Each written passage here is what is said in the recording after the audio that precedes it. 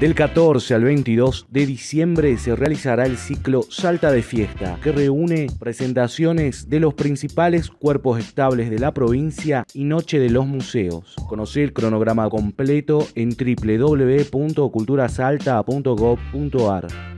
El circuito milonguero Vivitango se prepara para las últimas dos clases en el mercado artesanal. Los próximos lunes de diciembre se brindarán clases y milongas abiertas para principiantes y bailarines intermedios junto a profesionales del tango de la provincia. La ministra de Salud de la Nación, Carla Bisotti, el ministro de Salud de la provincia y el secretario de Cultura, Diego Ayur, recorrieron el mural realizado en el Hospital Materno Infantil en oportunidad del concurso de Muralismo Ramón Carrillo, realizado por el artista Walpac. Salteños y turistas palpitaron Argentina-Croacia en la usina cultural. Este domingo se preparan para transmitir al aire libre la final del Mundial de Qatar a partir de las 11 horas con entrada libre y gratuita. Editores, libreros y distribuidores junto a la Secretaría de Cultura diagramaron una agenda de trabajo vinculada a la comunidad de la literatura y educativa en la región NOA-NEA para el año 2023